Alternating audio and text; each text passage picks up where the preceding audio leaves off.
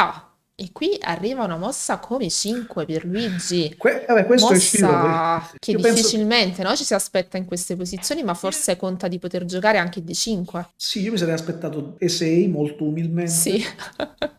Eh, ma Sciro che Sciro, Sciro è... È vero. Ok, esci. Possiamo aspettarci di tutto, vediamo, vediamo qual è gio- l'idea. È un giocatore Sì, travolgente. diciamo che solitamente si cerca di evitare di dare delle case così importanti all'avversario, però se Io, però ha la io mi, possibilità di giocare D5, allora magari può avere un senso. Infatti sì, gioca D5. mi metto nei miei panni di, di allenatore, no? Se un allievo mi fa vedere in questa posizione 5, probabilmente gli tolgo il saluto perché non...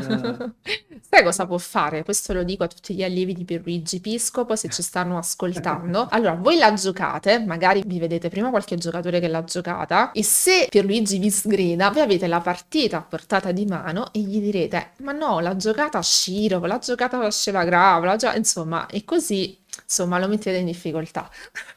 Gra- grazie Maria, grazie davvero, questo è un ottimo, un ottimo suggerimento. Ma come si fa Pierluigi in questi casi? Raccontaci, qual è la tua strategia? Bisogna negare sempre, questa, è la, questa è la- è la prima regola che si impara. No, no, no, in questi casi chiaramente bisogna lasciare spazio alla creatività, no? È chiaro che noi siamo lì per insegnare, però se c'è un allievo che gioca una mossa molto brutta posizionalmente, ma perché ha un'idea, è giusto anche fargliela giocare, magari dirgli che ci sono degli inconvenienti, ma privilegiare l'aspetto creativo. Almeno a me piace Mhm. sempre lasciare Fargli fare anche esperienza, no? Su quelle posizioni per capire magari Esatto, sulla propria pelle quello che può accadere. esatto. Sì.